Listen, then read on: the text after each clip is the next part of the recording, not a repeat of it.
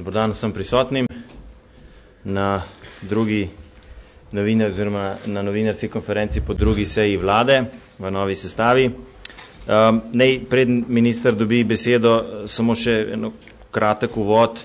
Uh, vlada je danes potrdila uh, izhodišča za socialni sporazum uh, 2012-2017.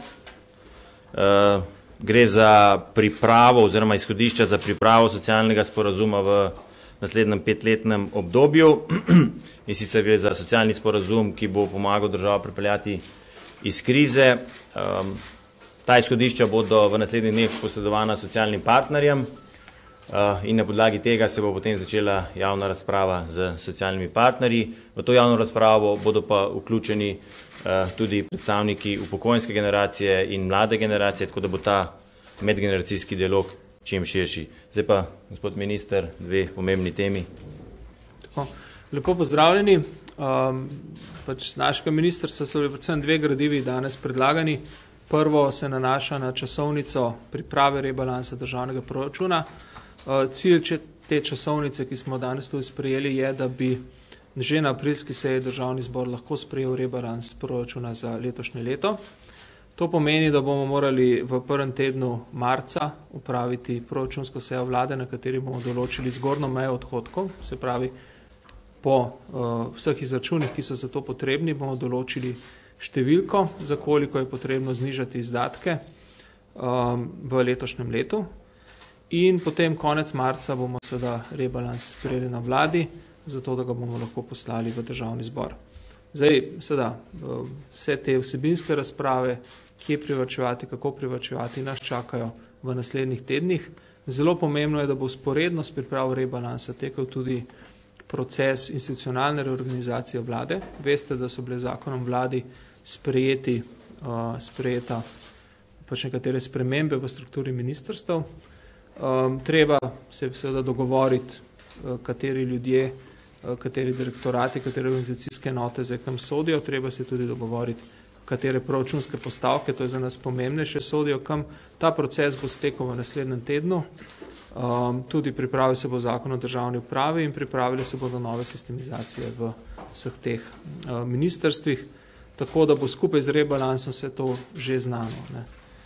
Um, druga pomembna tema, ki smo obravnavali, je bilo vprašanje zakon o poroštvih za T6, ki je bil vložen v državnem zboru, kot veste, ne strani vlade.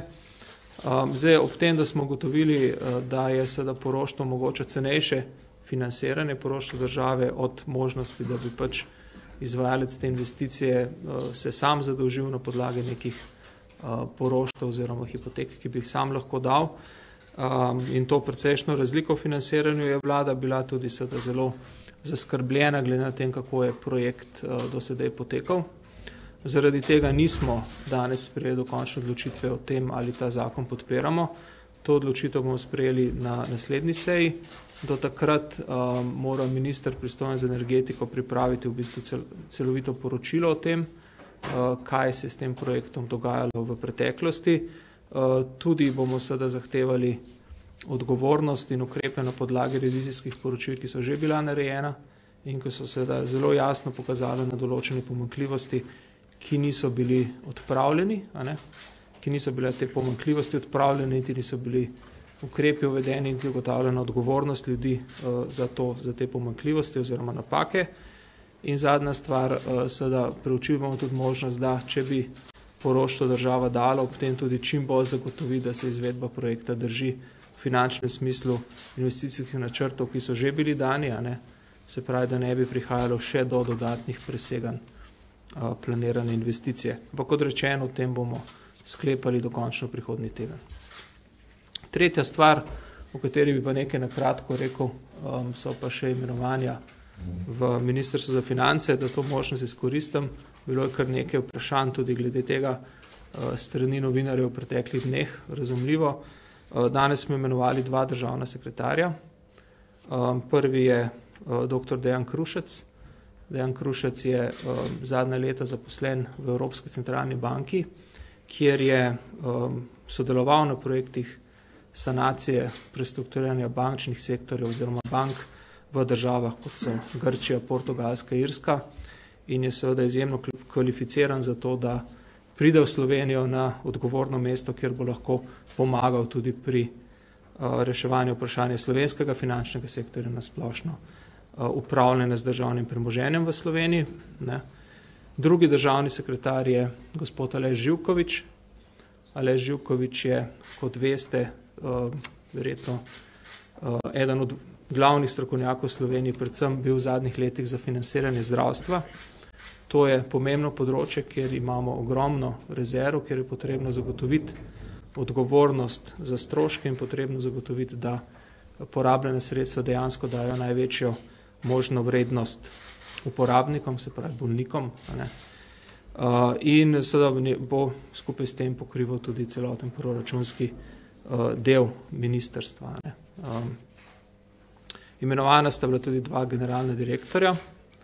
Eh, za področje davčnega sistema je bila imenovana magistr Tamara Prezel, ki se prav, eh, je po izobrazbi sicer pravnica, magistrirala je prav z področja davkov eh, na tem davčnem programu v Mariboru in je seveda davčna strokovnjakinja, delala je v več podjetjih v zasebnem sektorju in mislim, da bo seveda v ministrstvo pripeljala več te miselnosti, ki o davkih razmišlja tudi strani zavezancev, ne samo z vidika proračuna.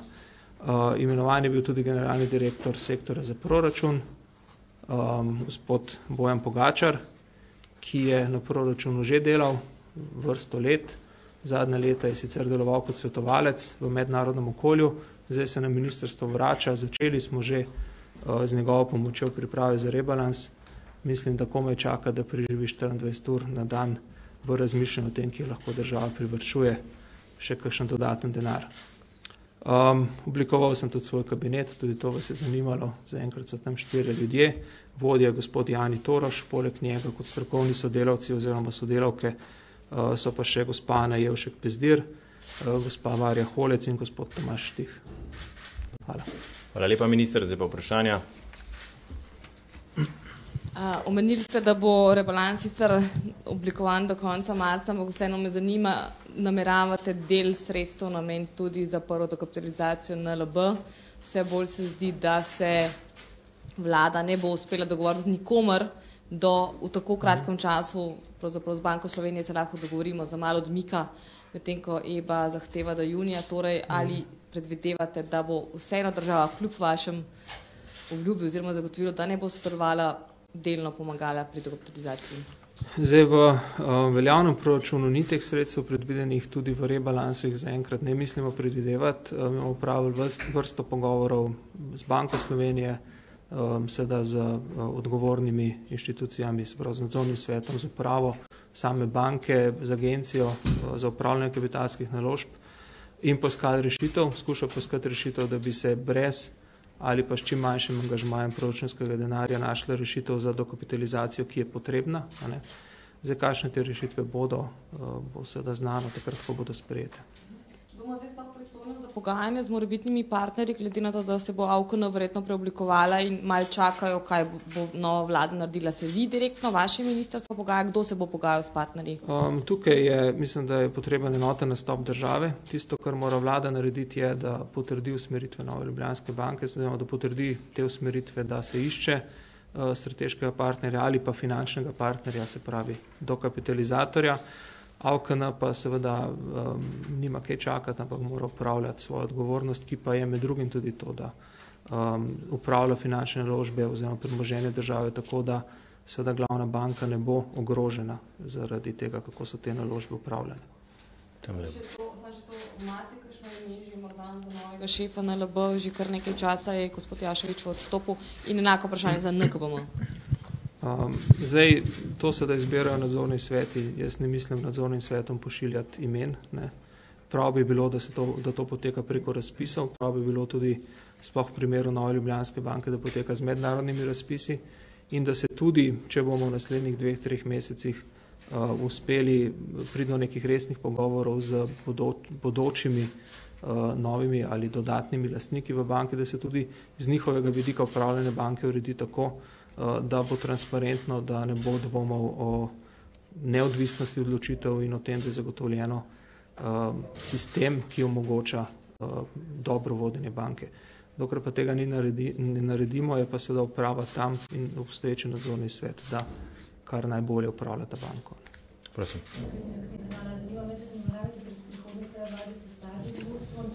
Če ja, kdaj, če že tam sestanek ni dogovorjen, kaj pričakujete od njih, da bi vam še dodatno predstavili? Zdaj, to je predvsem v pristojnosti ministra za infrastrukturo, ki skrbi tudi za energetiko, tako da jaz zaenkrat tega nimam na svojem urniku. Jaz imam pa podobno vprašanje. Ste mogoče, je vlada mogoče v stikih z Alstomom, se z njimi kaj sestanete? Pa še tole vprašanje. Prihodnji teden, ko boste odločali o poroštvu, boste odločali o podpori zakonu, ki je že v proceduri ali boste pripravili v tem primeru svojega, če boste podprli? Ne, odločali bomo o, sprejeli bomo mnenje vlade do tega zakona, ki je v proceduri v državnem zboru. Um, glede teh pogovorov pa jaz tega ne morem komentirati, ker dejansko ni to v moje pristojnosti. Še kakšno vprašanje? So bile na vladi danes sprejete še kakšne druge kadrovske odločitve, razen teh, ki ste jih že navedli? So bile, da. Zdaj, kar se tiče kadrovskih, kadrovskih vprašanj, boste imeli v imenovane bo še lista državnih sekretarjev in pa nekatere imenovane generalnih direktorjev oziroma generalnih sekretarjev. To je pa v izjavi za javnost, ki boste potem na koncu dobili. Ladič. TV mene zanima v luči tega prestrukturiranja ministrstva, pravite vsebinska razprava bo prihodnji teden, pa ne ste neke okvirje že danes sprejeli, morda obstaja kakšen načelen konsens, ki zagotovo brez kakšnih uradov bi šlo, bo šlo. Um, nismo. skupnosti slišimo, da ne bi se ukinulo, lahko to potrdite, zanikate? Vsak minister bo moral v svojem resorju to pogledati, narediti uh, racionalizacijo, a ne, v tem smislu, kot govorite, nismo pa glede tega nobenih sklepov sprejemali danes, se pravi, to je naloga ministrov, da to pogledajo in se da racionalizirajo. Je pa velika volja med njimi, da to storijo. To pa zagotovo.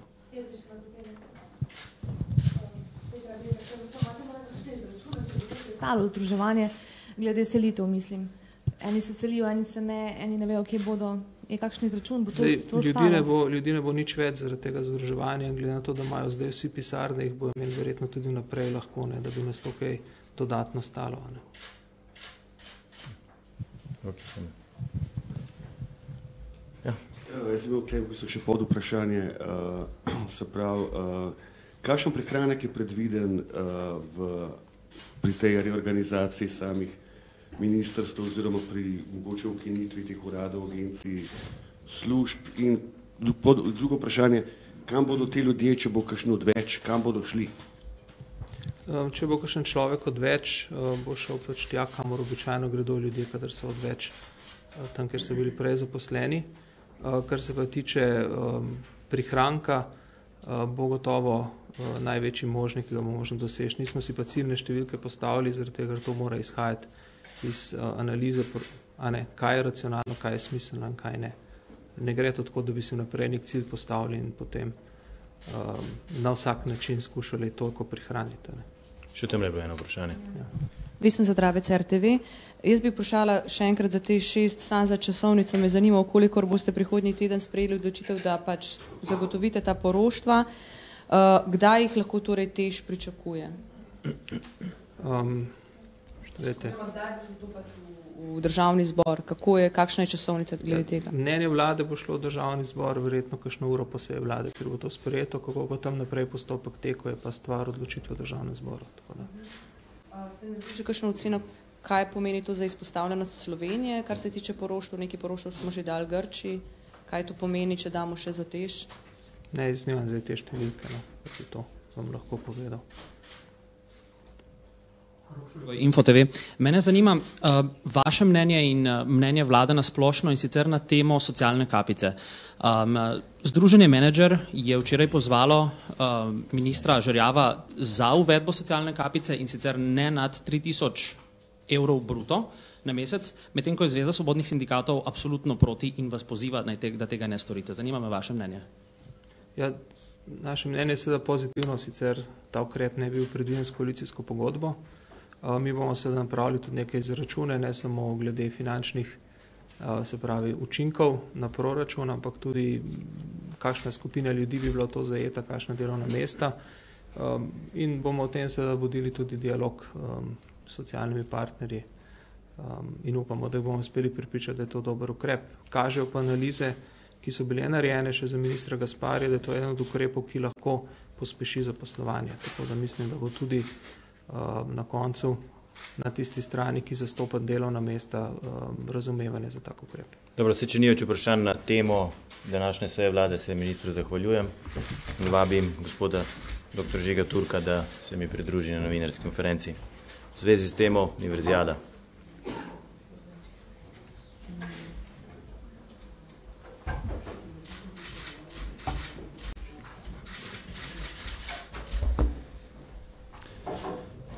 Dobro dan, pozdravljeni tudi v mojem imenu.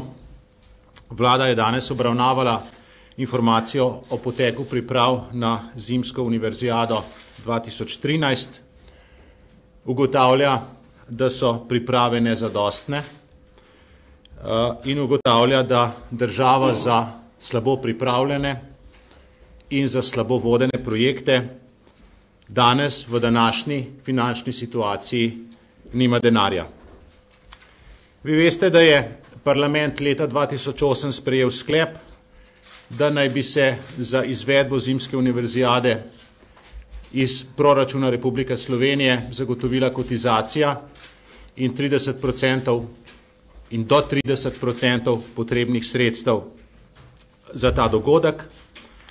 Uh, od takrat naprej je država držala svojo besedo, plačala je kotizacijo v obsegu 3 milijone evrov eh, in namenila tudi približno 3 milijone 300 tisoč evrov za dograditev oziroma obnovo športnega centra na Rogli.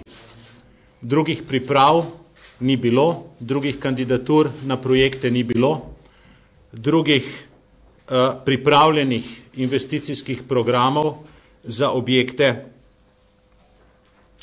ni bilo.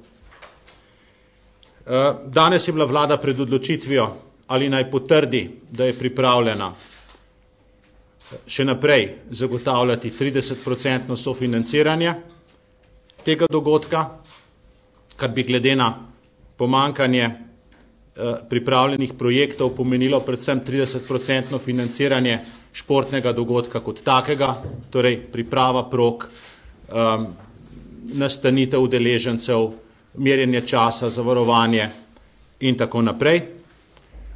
Ali pa naj pravzaprav ugotovi, da ni verjetno, da bi 70 in več odstotkov sredstev, ki so potrebne za izvedbo tega dogodka, eh, res našli druge. Na podlagi informacij, ki jih imamo, tudi na podlagi prihajajočega rebalansa proračuna in varčevanja v državi, smo se odločili, da ne podaljšujemo uh, upanja, uh, da ne podaljšujemo um, tega, da bi verjeli, da se bo kar naenkrat našlo teh 70%, ki jih ni v proračunu nobene uh, organizacije in da jasno povemo, da v obstoječi finančni situaciji, ki je v državi, ki je tudi v Evropi, da v času, ko tudi večje države, kot je recimo Italija, se odpovedujejo kandidaturam za velike športne dogodke, da v času, ko bom jaz kot minister moral zagovarjati se pred ravnatelji javnih zavodov, šol, da ni denarja za kakšno nujno vzdrževanje, za kakšno nujno investicijo, za popravilo strehe, za popravilo toplotne črpalke, obnovo fasade in tako naprej, eh, da bi bilo v tem času v tako slabo pripravljen projekt neodgovorno vlagati uh, nadaljna, povdarjam, nadaljna javna sredstva, ker okrog šest milijonov in pol je država na tak ali drugačen način v univerzijado že vložila. Seveda organizator univerzijade ni država, organizator univerzijade je Slovenska športna zveza skupaj z mesto občino Maribor in nekaterimi drugimi občinami. Eh, če, te, eh, če ta organizacija najde druga sredstva, če najde sponzorje, če proda televizijske pravice in podobno, potem se seveda ta dogodek lahko še vedno izpelje. Prizorišča v Sloveniji so izkušnje z izpeljavo mednarodnih tekmovanj prav tako. Tudi kolega Šušteršič je nekaj povedal tudi o kadrovskih zadevah. Rad bi vam sporočil, da je danes vlada imenovala še drugega državnega sekretarja na mojem ministrstvu oziroma državno sekretarko. To je gospa Mojca Škrinjar, velika strokovnjakinja na področju šolstva. Poznam jo tudi iz skupnega dela v mestnem svetu mestne občine Ljubljana in sem prepričan, da bo odlično dopolnila ekipo, ki se zbira na ministrstvu za izobraževanje, znanost, kulturo in šport. Toliko za uvod. Dobro, hvala minister za vprašanja. Saša Krajn z TV Slovenija. Zanima me, govorili ste o univerzijadi, da je država že dala šest milijonov in da bi nedopustno bilo, da bi še vlagala v ta projekt, če sem vas prav razumel. Torej tistih 12 milijonov, ki naj bi jih država dala, tudi tega preostanka ne misli država dati, če prav razumem. In še eno vprašanje, o podpovedi seveda Sloveniji oziroma organizatorjem grozi kazen, denarna kazen, višina še sicer ni znana, kdo bo to kazen plačal potem? V proračunu Republike Slovenije, ki ga je sprejela prejšnja vlada, za leto 2012 ni sredstev predvidenih za organizacijo univerzijade. Vi govorite o 12 milijonih, ne, v tistem stavku je tudi zapisano ne, 30 procentov vlagan v univerzijado. Moram biti zelo jasen. Marsikdo bi marsikaj v Sloveniji organiziral, če bi zadevo v celoti financirala država. Mislim, da je pravilno, da je bilo napisano, da bo država financirala 30 procentov, kar pomeni, da obstaja interes nekoga, da bo pokril ostalih 70 procentov in da bi bilo teh 30%, ki bi jih dali davkoplačevalci v to, pametno, kolikor toliko pametno porabljenih. Uh, tega, teh 70% ne vidimo, iz teh 70% v zadnjih treh letih nismo opazili, da bi bilo karkoli narejenega. Uh, v zvezi z kaznjo je pa takole, v zvezi s tremi milijoni, ki jih je država dala za uh, kotizacijo. Ta sredstva je država dala Slovenski univerzitetni športni zvezi. V tej pogodbi piše, da ukolikor ne pride do organizacije univerzijade, da bo ta sredstva zahtevala nazaj. Naslovnik za morebitno uh, odškodnino, ki bi jo zahtevala mednarodna študentska športna zveza, ni država, ker država ni uh, organizator tega športnega dogodka. Še kakšno vprašanje? Uh, mene pa zanima glede akte, uh, po vašem tvitu sodeč, uh, se lahko zgodi, da se bo Slovenija pridružila državam, ki so se odločile, da ne bodo podpisali sporozuma. Ste danes o tem kaj govorili in kdaj bo končna odločitev? Uh, o tem smo govorili uh, na neformalnem delu seje vlade. Konkretno odločitev o tem vam bo sporočil resorni minister, gospod Žerjav. Je pa res, da se vlada nagiba k temu, da ratifikacijo tega sporazuma zamrzne. Kot veste, je ratifikacija uh, naloga uh, parlamenta. Konkretne postopke, kaj more vlada s tem ukreniti, bo vedel kolega Žerjav. Mislim, da je pomembno tukaj vsebinska odločitev oziroma politična odločitev, da ne vidimo praktične potrebe, da bi Slovenija to morala zdajle ratificirati. Vse bolj verjetno je zdaj odpoved, glede na to, da država ne bo pomagala. Kaj bi to pomenilo za ugled tudi same Slovenije in če ta odločitev glede univerzijade je tudi nek signal organizatorjem Evropskega prvenstva v košarki? Uh, Je, je tudi signal organizatorjem Evropskega prvenstva v košarki, da so časi težki, da se je treba obnašati racionalno, da državni proračun ni vreča brez dna. Um, vendar mislim, da obstajajo kar pomembne razlike med univerzijado in košarkarskim prvenstvom. Kaj to pomeni za ugled Slovenije v svetu? Jaz mislim, da je to za ugled Slovenije v svetu pozitivno. Slovenija pošilja v svet signal, da se obnaša racionalno, da varčuje, da se ne loteva v težkih časih projektov, ki so, so vprašljivi, ki so slabo vodeni. Vi ste brali ta teden, da se Rim na predlog predsednika italijanske vlade gospoda Montija odpoveduje kandidaturi za olimpijske igre. V zraku visi odpoved kandidature Bolonje za letno univerzijado. Skratka, v Evropi se vse bolj zavedamo, da um, se je treba tudi pri organizaciji športnih dogodkov obnašati racionalno. Okay. Vera. In še racionalizacija ministrstev, struktura, uh, slišali smo osebinska razprava, še bo tekla, mene zanima na vašem tako imenovanem super resorju, ste vi že naredili kakšno schemo, kako bo, koliko ljudi nameravate uh, zreducirati, kam bodo ti ljudje šli, brez katerih uradov, služb lahko vaše ministrstvo funkcionira?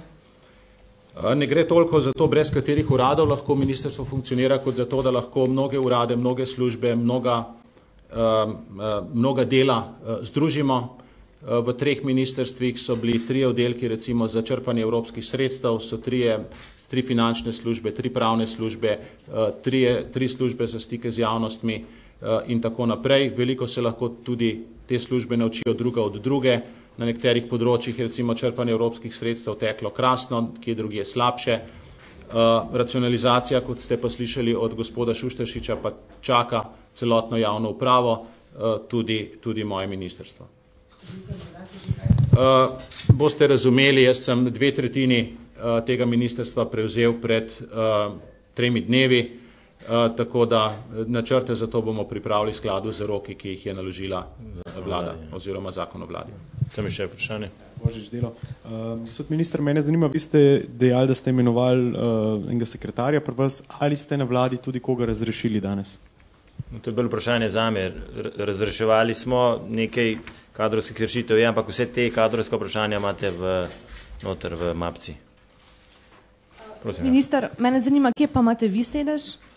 Uh, oziroma, a se boste kam preselili, boste imeli kakšne skupne prostore na tem ministrstvu? Uh, jaz imam eno pisarno na Ministrstvu za kulturo in drugo pisarno na, bivš, na, na bivšem Ministrstvu za kulturo in drugo pisarno na bivšem Ministrstvu za visoko, za šolstvo, pardon, za šolstvo. Torej ste mobilni? Uh, sem mobilen, ja. V okviru te, v okviru te uh, reorganizacije bomo poskušali te tri, te tri dele uh, spraviti nekako skupaj pod eno ali dve strehi. No, še eno vprašanje za Eno vprašanje me zanima, ali ste na današnji seji morda razpravljali tudi o odnosu nekdanjega predsednika države Milana Kučana in aktualnega predsednika vlade Janeza Janša? Ne, o tem ne. ne. ne. Dobro. Če ni... Kakšno je bilo vzdušje, kako je izgledalo vse skupaj? Uh, to je bila pravzaprav druga seja vlade. Jaz sem bil tudi v vladi 2428, ko nas je bilo ministrov, kako bi rekel, za polno mizo, zdaj nas je za pol mize. Uh, in moram reči, da se stališča razprav, se stališča debat, se stališča tega, da teče nek vsebinski dialog, uh, se kaže ta odločitev o zmanjšanju števila ministrstv kot dobra. Čisto se stališča tega, koliko ljudi lahko pri nekih vprašanjih v neki razpravi, koliko jih imate lahko za mizo in da je ta razprava še vedno vsebinska in da se vsi čutijo vključene. Sej, novo ni neč, no. Ja, vprašaj, ne. Ponekod recimo neke inšpekcijske službe sploh ne delajo, zaradi tega, ker ne vejo, pod kjero ministrstvo sodijo. Imate vi kakšne podobne probleme ali pri vas vse delo teče nemoteno? Če te službe samo tri dni ne delajo, potem to ni velik problem. Dobro. Hvala, če ni več vprašanja za ministra. Um, tudi kadrovska vprašanja, kot ste sprašvali, imate, kot sem omenil, v mapcah, tudi jaz ne bi šel uh, po imenovanju vseh državnih sekretarjev. Če pa še kakšno splošno vprašanje, drugače se vam pa zahvaljujem za udeležbo na novinarski konferenci in vas slabo pozdravljam.